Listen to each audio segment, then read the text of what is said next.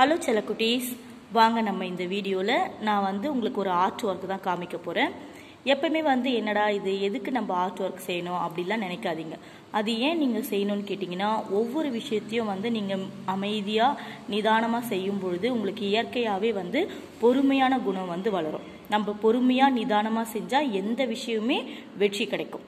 ஓகேவா குட்டீஸ். அதனால தான் வந்து நம்மளுடைய பள்ளியில் வந்து எப்பவுமே வந்து வாரத்தில் ஒரு நாள் வந்து ஆர்ட் ஒர்க்லாம் செய்யறதுக்கு சொல்லி கொடுப்பாங்க.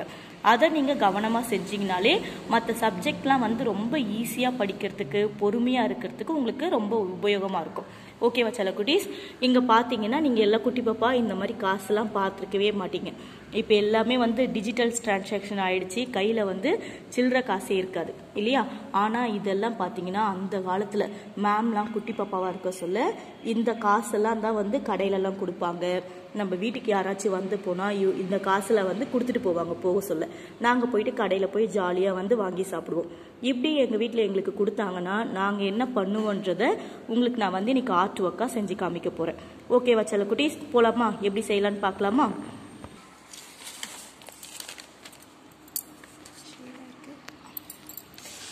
ஓகே சில குட்டீஸ் இப்போ நம்மளுக்கு என்னென்ன தேவைன்னு கேட்டிங்கன்னா இப்போ வந்து நம்ம மேம் வந்து பத்து காசு இருபது காசு ஐம்பது காசு அஞ்சு காசு இருபத்தஞ்சு காசு எடுத்திருக்கேன்.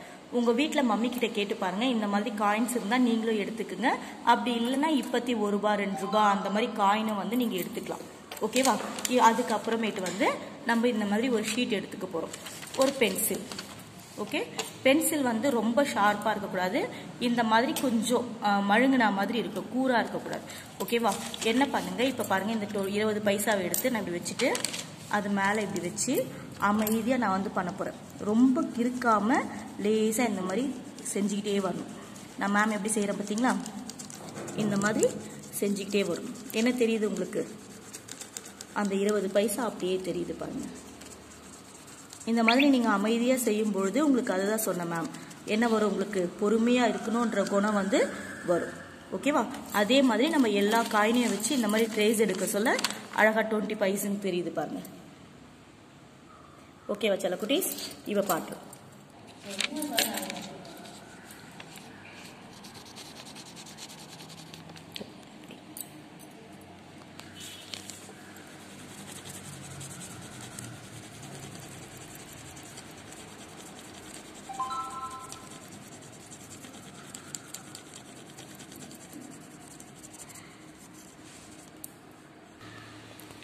ஓகே சில குட்டீஸ் பார்த்தீங்களா மேம் வந்து நான் ஒவ்வொரு காயினாக வச்சு வச்சு என்ன பண்ணியிருக்கேன்னு கேட்டிங்கன்னா இந்த மாதிரி ட்ரேஸ் எடுத்திருக்கேன் எவ்வளோ பாருங்கள் ஜெராக்ஸ் அடித்த மாதிரியே வந்திருக்கா?